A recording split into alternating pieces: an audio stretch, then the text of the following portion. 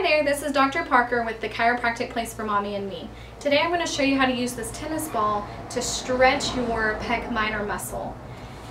As mothers, we tend to hold our position like this numerous times throughout the day, such as holding a baby, nursing a baby, bottle feeding a baby, changing clothes, diapers, cooking, all those different things. So when you start to roll those shoulders forward, it can put a lot of stress and strain on your chest muscles.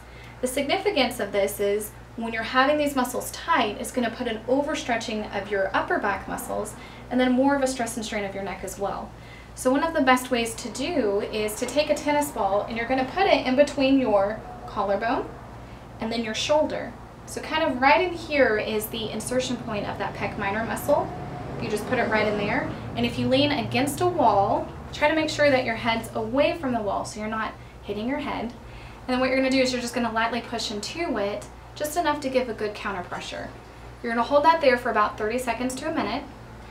And then you can also work the ball too if you don't have a wall, just to take the ball and kind of do small circular motions across that chest, right underneath that, that collarbone. You'll do it for about 30 seconds to a minute, and then try to do that numerous times throughout the day. In addition to also trying to make sure that your shoulders are rolled back when you're in all of those other different positions to help with that posture. Hope you enjoyed this video.